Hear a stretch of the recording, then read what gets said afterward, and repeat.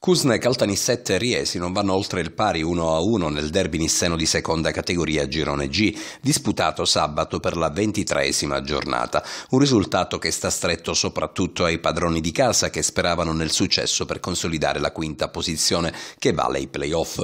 Si è fatta più decisa infatti la concorrenza del Petralia Sottana, ora a sole tre lunghezze dal Cusne.